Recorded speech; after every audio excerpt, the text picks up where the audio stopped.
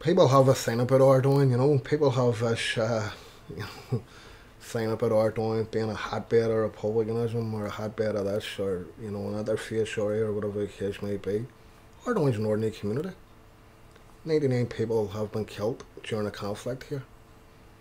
Over 500 people, residents have served time in jail for the IRA and the NLA. Uh, there's only 8,000 people live in the area. You know, that's a considerable amount of people who've been affected by the, is what people term the troubles, right? So, uh, it's just a question of, you know, and ordinary people, its, its residents have lived through extraordinary times and uh, they react to what goes on around such as the Orange Parade, such as tensions, sectarianism, the troubles, the war, you know, imprisonment.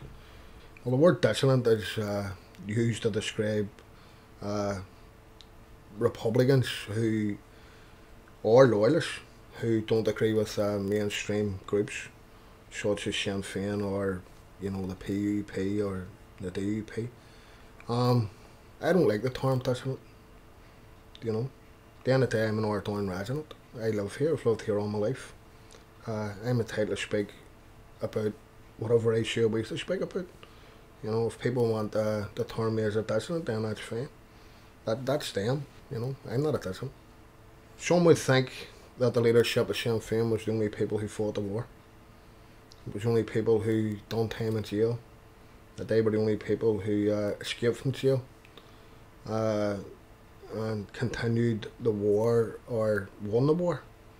You know, but you know, let's be honest about it. You know, that's not that's not that's not right because people don't understand where that anger comes from. You know, and that needs addressed before we can move on and and have major discussions and uh, sit down and talk honestly about what is going on here. You know.